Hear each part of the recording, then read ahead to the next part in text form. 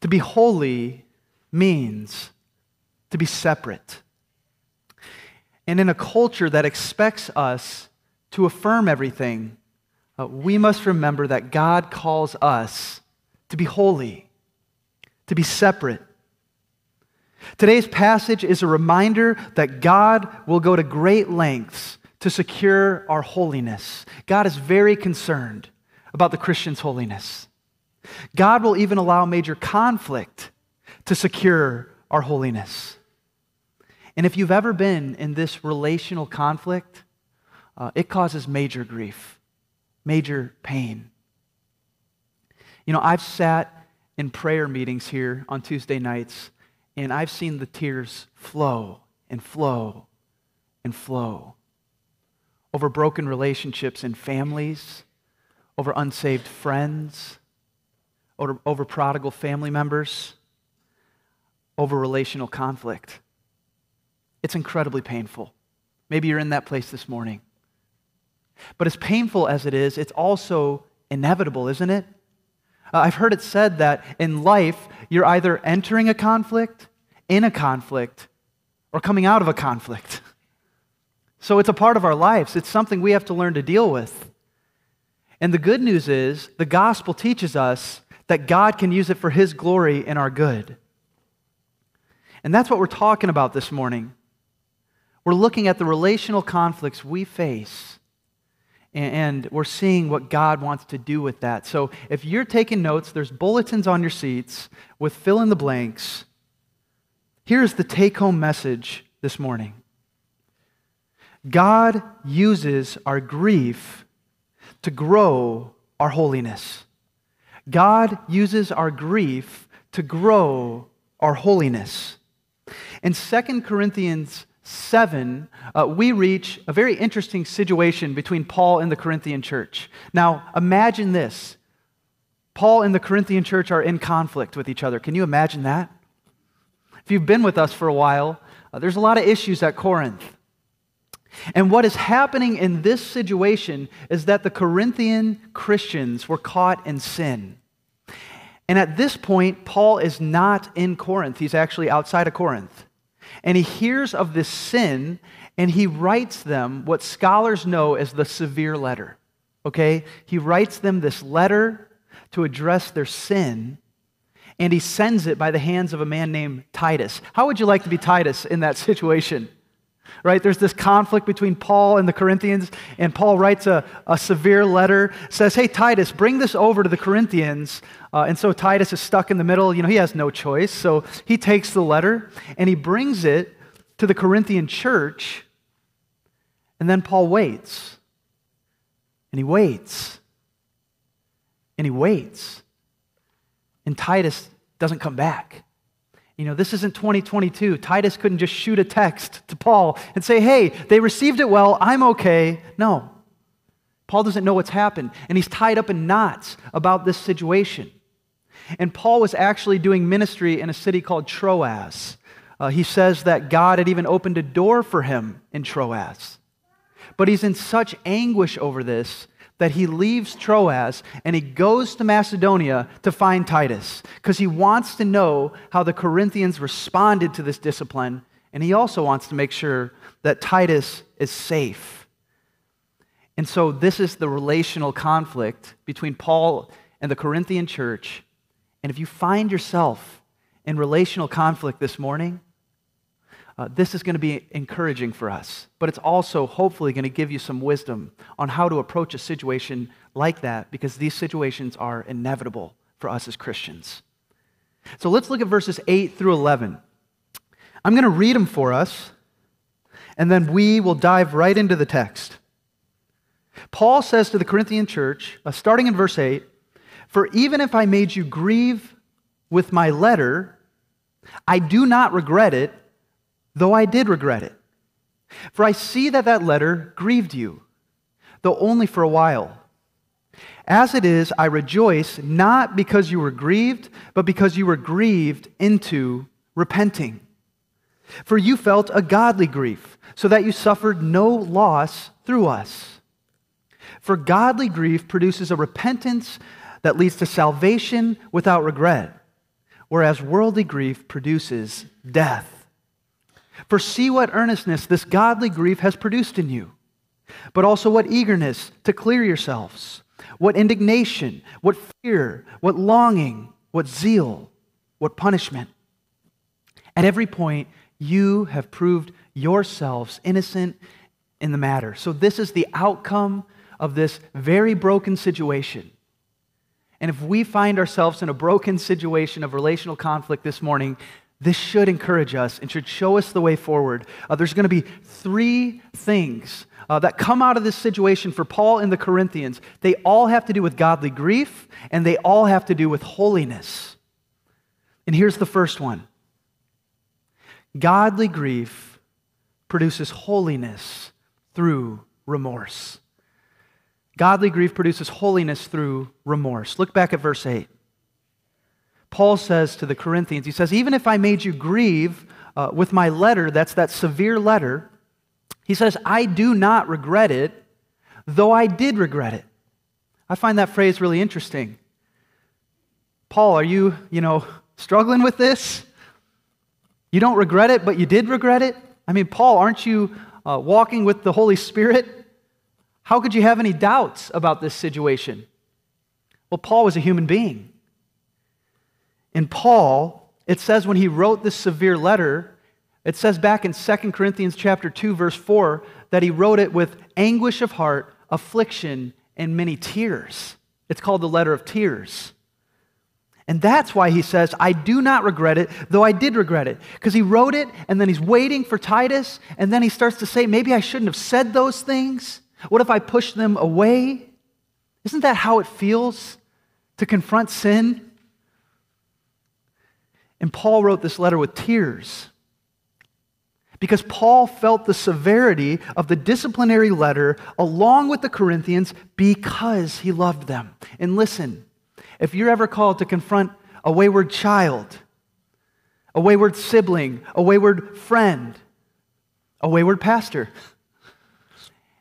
and you love them, you will feel that pain because you love them. But that love is a good thing because it checks us from being too harsh, right?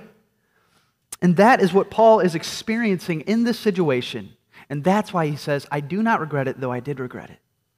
You know, I think of the parent uh, who disciplines their child, and then they walk into another room and break down and say, I came down too hard on him. I think of the Christian friend who confronts another Christian that they love, and they walk away, and they break down and they say, I think I ruined the relationship. Did I do the right thing? I think of the pastor who sits down with a church member in sin and leaves and says, I hope they know how much I love them. I mean, we've all experienced this, haven't we? And you can be godly and you can be doing the right thing, but you will feel this tension. You will feel this remorse because these situations, they're painful, even if you're doing the right thing. But you, you got to hear the other side of this. The other side of this is that Paul still confronted the sin. Did you get that? Paul still confronted the sin because for Paul with the Corinthians, he loved them too much to not confront their sin. Listen, it is not biblical love to never confront sin. You know, there might be a way to do it, and there might be a time to do it. And we might need to pray for the right way to do it. But there is a time to confront sin, even if it causes pain in the relationship. Jesus said, Blessed are the peacemakers, not blessed are the peacekeepers. You get the difference? Jesus brought a kingdom of peace. Jesus brought us life in peace. But Jesus confronted sin. Jesus confronted sin. Jesus was a peacemaker, not a peacekeeper. A peacemaker lives in the peace of God, but they're willing to confront, even when it causes tension. A peacekeeper avoids conflict at all costs. They choose comfort over conviction, comfort over confrontation. And I'm afraid when I study a passage like this that today in the church, we're replacing peacemaking with peacekeeping. That in our lives, in our families, among our friends, we mistake peacekeeping for peacemaking. I wonder how much ground has the church given up by being peacekeepers rather than peacemakers. We choose comfort over confrontation, and we do this in the name of love, but that's not biblical love. That's our culture more than it's the Bible. We are called to be peacemakers, uh, not peacekeepers. And God will never ask you to affirm something that He doesn't affirm to reach someone for Christ. God will never ask you to violate His word to preserve a relationship for Christ. But man, it's easy to get that wrong, isn't it? I won't ask you to raise your hands, but I know I got some people pleasers in here because I myself struggle with people pleasing. And it's a flaw.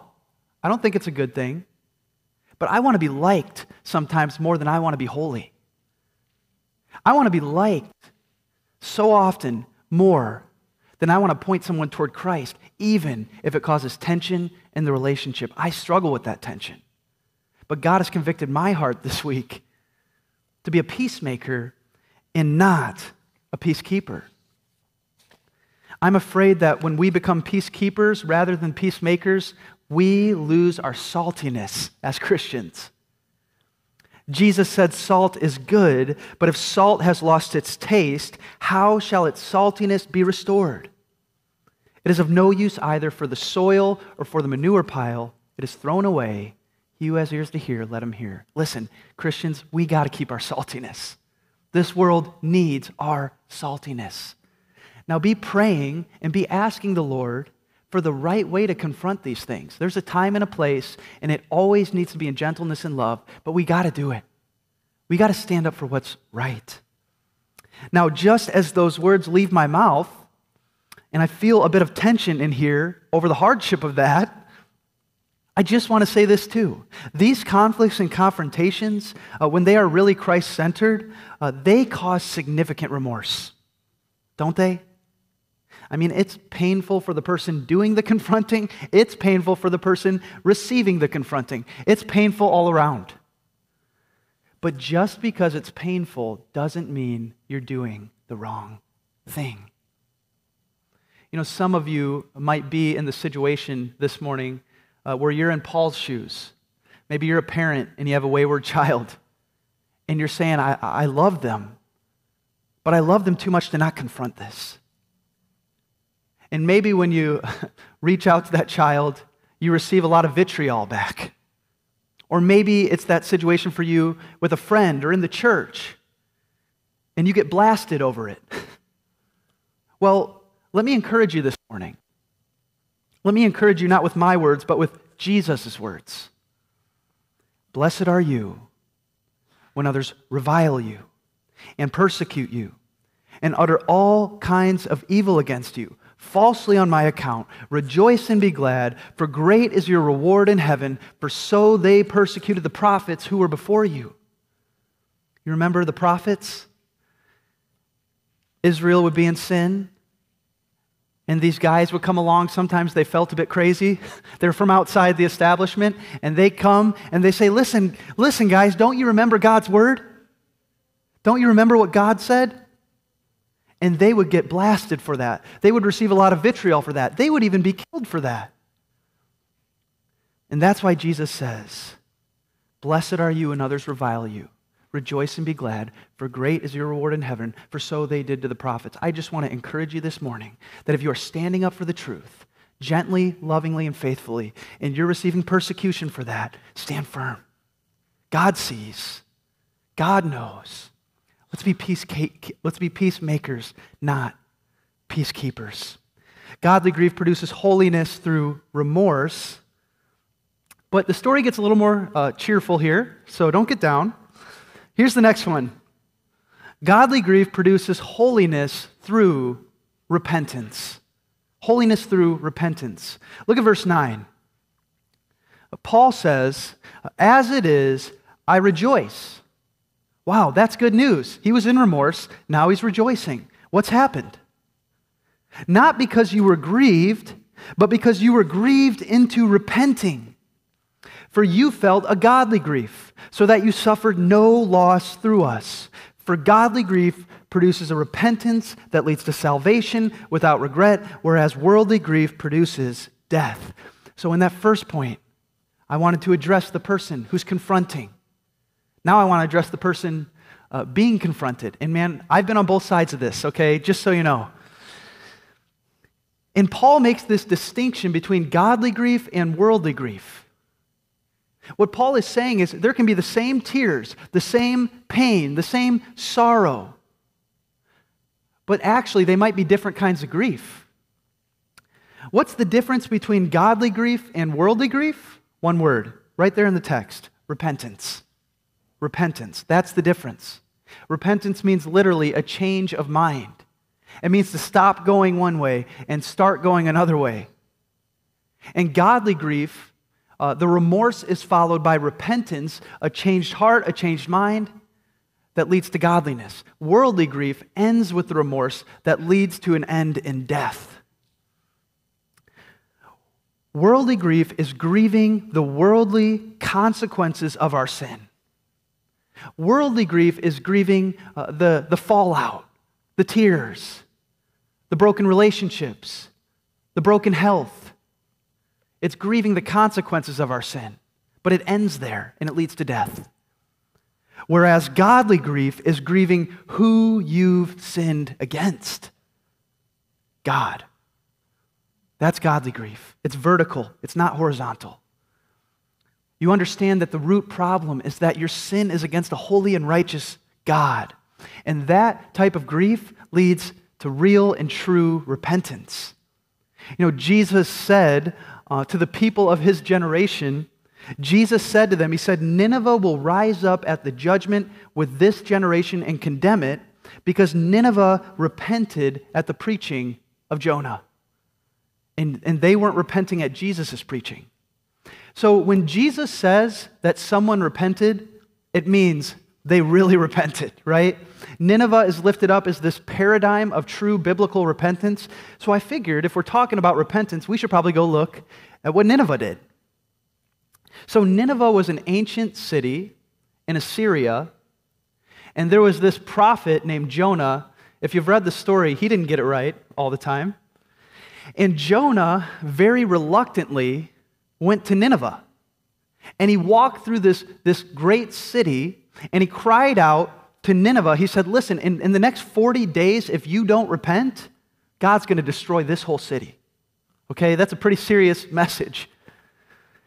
And so this reaches the king of Nineveh, and you'll see Jonah chapter 3, verses 6 through 10 up on the screen. Uh, the king of Nineveh here has a choice between worldly grief and godly grief. Let's see how he responds. The word reached the king of Nineveh. And he arose from his throne, removed his robe, covered himself with sackcloth, and sat in ashes. And he issued a proclamation and published it through Nineveh. By the decree of the king and his nobles, let neither man nor beast, herd nor flock taste anything. Let them not feed or drink water but let man and beast be covered with sackcloth, and let them call out mightily to God. Let everyone turn from his evil way and from the violence that is in his hands. Who knows? God may turn and relent and turn from his fierce anger so that we may not perish. Now, think about this. Think of the entire city of Chicago suddenly proclaimed a fast over their sin. I mean, that would be crazy, right? I'm not holding my breath on that. But imagine that that happened. And not just that, imagine that they didn't let any of the animals in Chicago eat or drink either. I mean, that's what this king said. He said, We're not going to eat, our cattle aren't going to eat. I mean, this is like extreme repentance, right? And when you see true repentance, it's powerful, isn't it? When you experience true repentance in your heart, it's powerful. A person is totally changed. And this is such an awesome response in verse 10. Uh, this is what God says. He says, When God saw what they did, how they turned from their evil way, God relented of the disaster that He'd said He would do to them, and He did not do it. Man, what if our country got on our faces and repented? Would God respond to that? He would respond, wouldn't He? What if our churches got on our faces and repented? Would God respond to that? He would respond to that. Let me bring it home for us. What if we got on our faces when we get it wrong and repent? Does God respond to that? He does respond. Because a broken and contrite heart, God will not despise.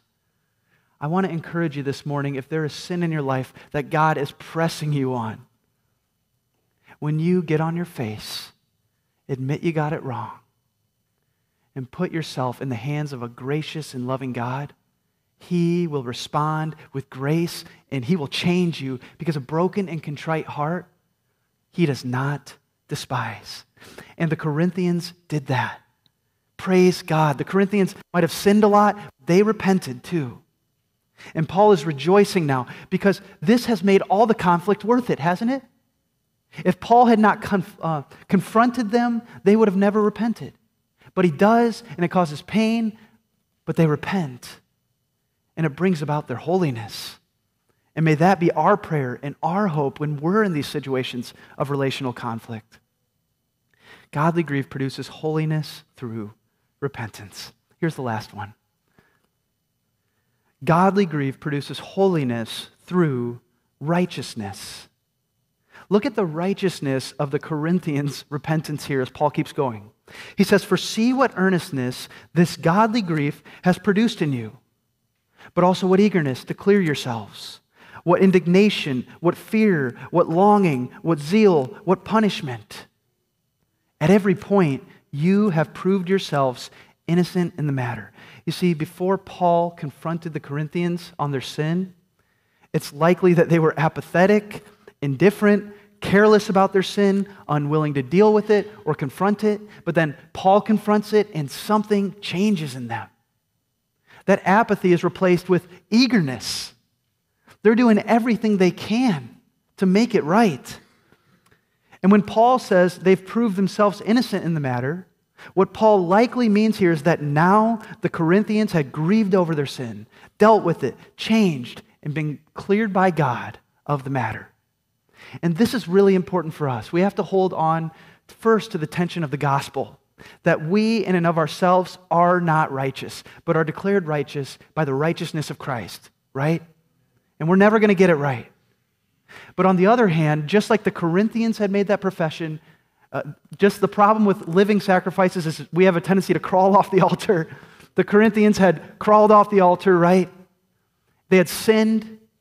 And while they were still saved, uh, God was calling them back to greater holiness. And God does this in our lives. And so when He does that, uh, we need to respond just like they did. But when Paul says that they had proved themselves innocent in the matter, I think we need to ask the question who did they prove themselves innocent to? Was it Paul? Yes, but I think it was more than that. Was it the Corinthian culture, the corrupt culture around them? Yes. They had cleared their testimony before them, but it was more than that. Godly grief is about God. They had proved themselves innocent in the sight of God. Their hearts, their eyes were toward God. When we think about repentance, it is about who we are repentant to. And that's the difference between godly grief and worldly grief. I think about uh, David, King David. King David got it wrong a lot. But King David was a royal repenter, wasn't he? And in Psalm 51, which is the psalm on repentance, David had slept with another man's wife.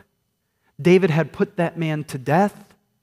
David had caused his child to be put to death because of his sin. David had done something where God said the sword would never leave his family. I mean, You want to talk about fallout. David experienced that. So David makes a staggering comment in this psalm where he says, Against you only, God, have I sinned. What? David, what about that man you killed?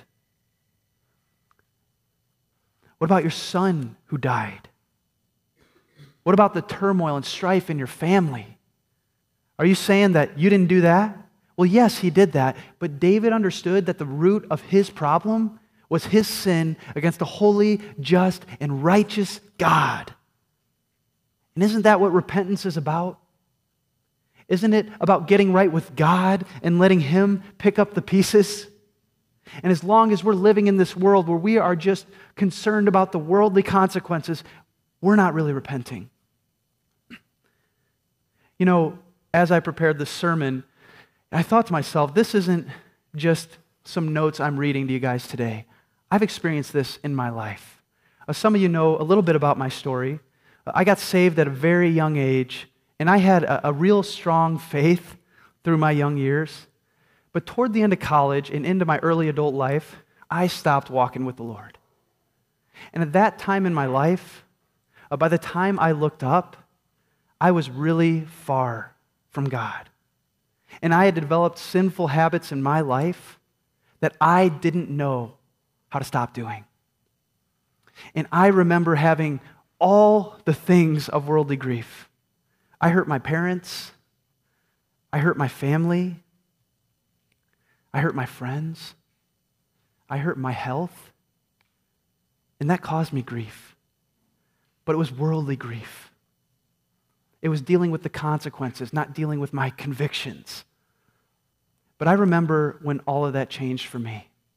Uh, one night I came home, uh, back to my apartment, and God had put on my heart uh, to watch this movie that I'd heard about called The Passion of the Christ. I look back, I have no idea why I would want to watch that movie at that time in my life. But God put that on my heart. And if you've seen that movie, it's pretty graphic, and I don't do well with blood. So you can imagine what it was like for me to watch that movie alone. But I made myself watch it. And I kept my eyes open as I watched it. And God started stirring in my heart. And I remember falling on my face and realizing for the first time that I had sinned against a holy, just, and righteous God. My next thought was, what do I do about that? And I felt condemnation because I realized that I uh, deserved eternal death in hell. And I couldn't make that right. And I cried out to God, and I said in my heart to God, God, I am so sorry. I'm so sorry. And God changed my life. And those sinful habits that had caused that season of destruction in my life, God has totally delivered me from those things. Praise God. And God brought peace into my life. He opened up His Word to me. He changed my life. But listen, I had to get serious about the fact that I had sinned against a holy God. And maybe you're in that place this morning. Maybe there's sin in your life that you haven't addressed before God. I just want to remind you that just like what He did for me, a broken and contrite heart he will not despise. Turn to him. Be met with grace. He'll clean up the mess. Or maybe you're the person uh, who's Paul in this situation and you're confronting the sin and you're being met with persecution. I want to encourage you again stay the course, lean on God. Blessed are you, for great is your reward in heaven. Band, you can come up. Or maybe you're the person this morning who has never given your life to Christ. You are trying to do it on your own, and you're seeing over and over again that that doesn't work. Well, I want to encourage you this morning do not leave this place until you have made that relationship right with God. Go to Him with all your brokenness, and He is able to pick up the pieces and make you right with Him. Uh, I'm going to be over in the prayer room as we close in worship if any of you need prayer this morning.